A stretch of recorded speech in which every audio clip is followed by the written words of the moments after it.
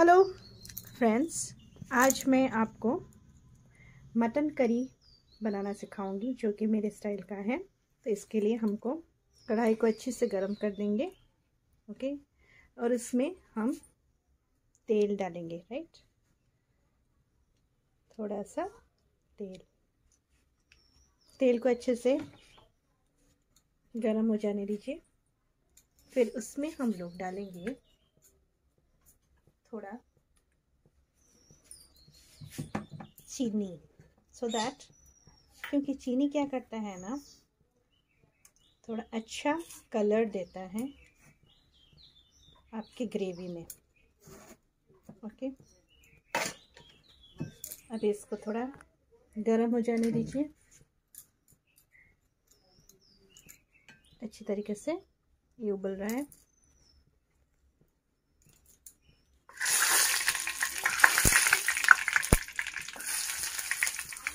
इसके बाद हम, ये अच्छे से हो गया।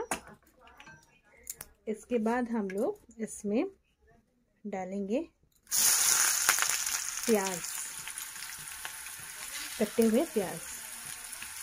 आप, ये मैंने एक प्याज को काट के डाला है बड़ा सा क्योंकि मैं आधा किलो मटन से बनाऊँगी तो इसके लिए आप बड़ा सा एक प्याज देने से भी चलेगा और you can give also one and half और two onions depending upon your requirement ठीक है?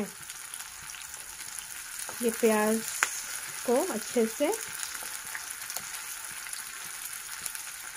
फ्राई कीजिए। ठीक है?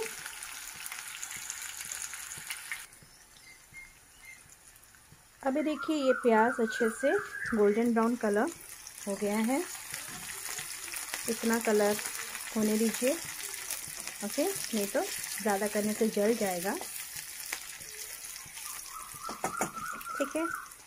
देन उसके बाद आप ginger garlic paste ginger garlic paste around two tablespoon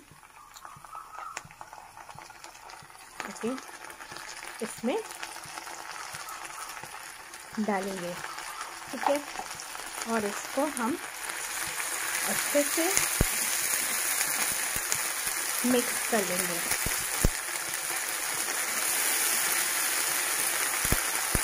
थोड़ा इसको पकने देते इसका रॉ स्मेल चला जाए। देखिए, ये अच्छे से पक रहा है। इसका raw smell mix it well so that the raw smell goes away उसके बाद हम लोग इसमें डालेंगे रेड चिली पाउडर आप कितना तीखा खाना चाहते हैं उस हिसाब से डालेंगे। मैंने लगभग वन एंड हाफ़ स्पून डाला है। देन इसके बाद आप थोड़ा सा हल्दी डालिए। ज़्यादा हल्दी मैं नहीं डालती हूँ बिकॉज़ फिर उसका स्मेल ठीक नहीं लगता। अभी आप तेल भी ज़्यादा दे सकते हैं। मैं थोड़ा लो आ, कम तेल में मैं करती हूँ। ओके? ये हो गया। देन यू पुट फिर आप उसमें क्या डालेंगे? धनिया पाउडर डालेंगे एक टेबल स्पून देन इसमें आप डालेंगे जीरा पाउडर। जीरा पाउडर थोड़ा मैं one and half teaspoon या टेबल स्पून डालती हूँ। अच्छे से मिक्स कर लीजिए। मसाला लगना नहीं चाहिए तो थोड़ा इसमें हम पानी दे देते हैं। ठीक है?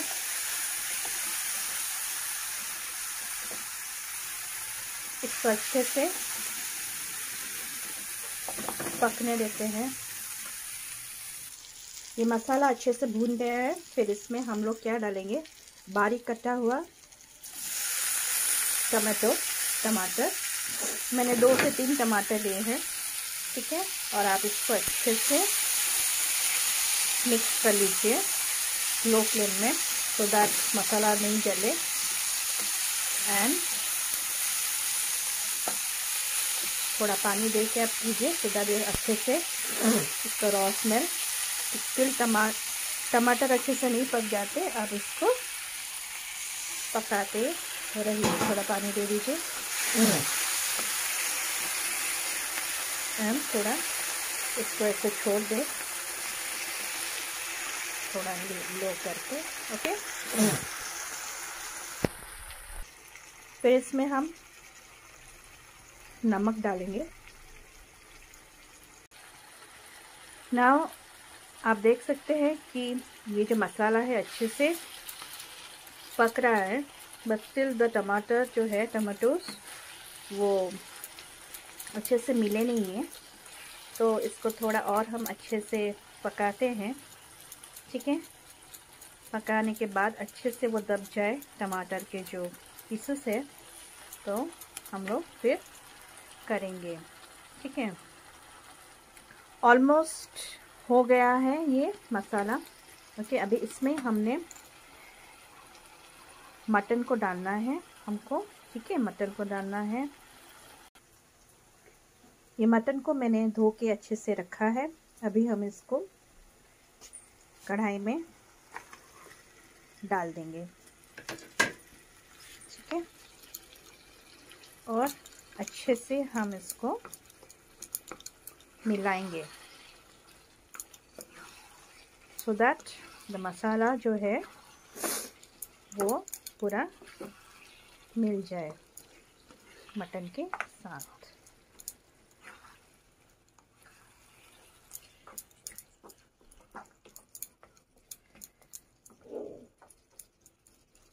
इसको अच्छे से हमें पकाना है।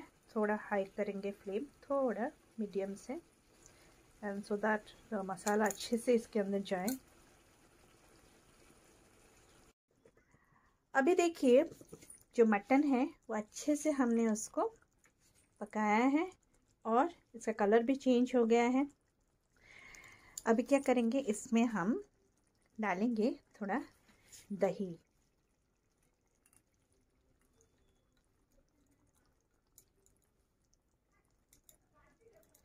दही डालेंगे और इसको हम अच्छे से दही के साथ मिक्स करेंगे।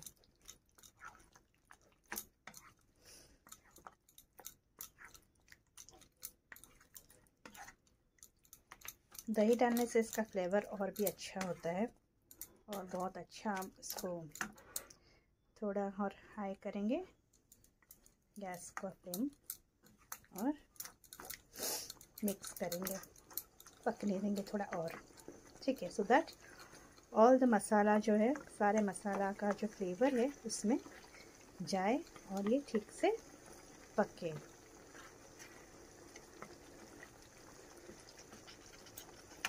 थोड़ी देर हम इसको ऐसे पकने देंगे।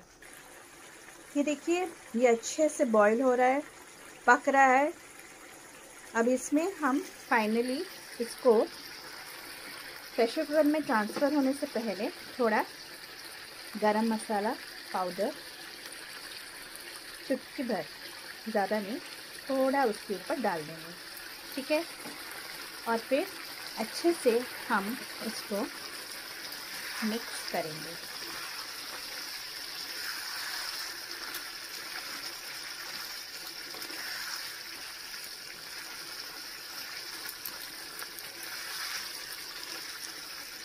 जितना आप इसको पकाएँगे कढ़ाई में बिफोर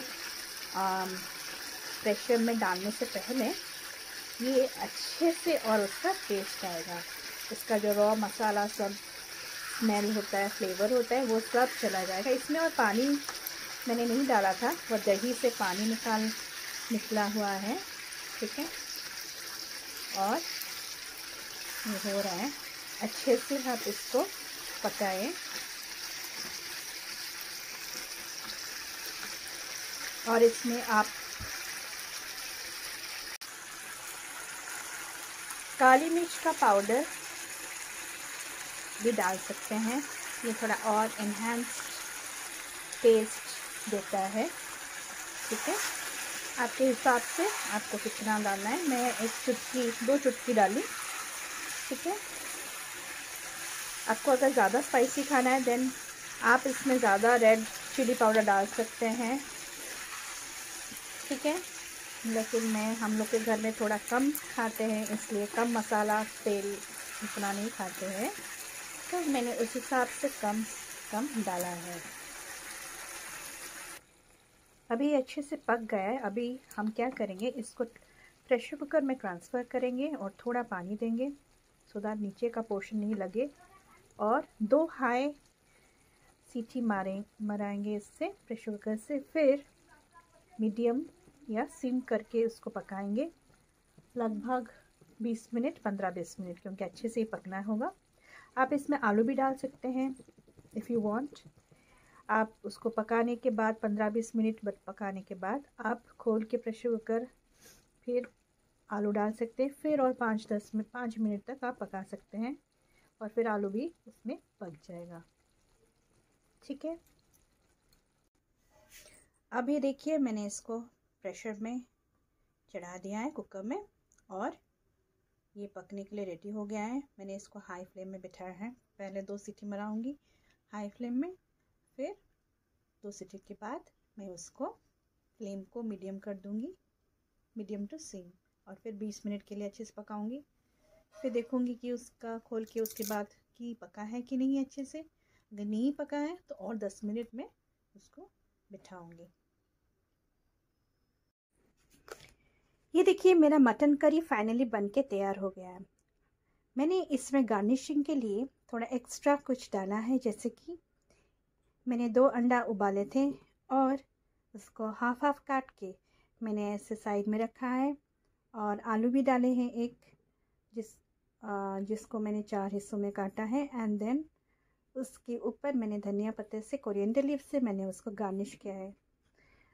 एक टिप्स बताना चाहती हूँ। अगर आपको चीनी फ्लेवर थोड़ा मीठा फ्लेवर अच्छा नहीं लगता तो फिर आप इनिशियली मैंने जो थोड़ा चीनी डाला था, वो आप मत डालिए। बाकी प्रोसीजर में कीजिए। बहुत सही लगेगा।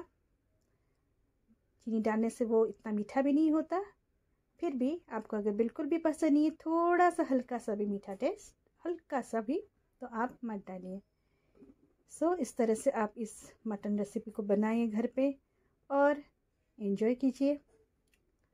तब तक हम नया वीडियो बनाएँगे और शेयर करेंगे। If you like my channel please to like the videos and to subscribe thank you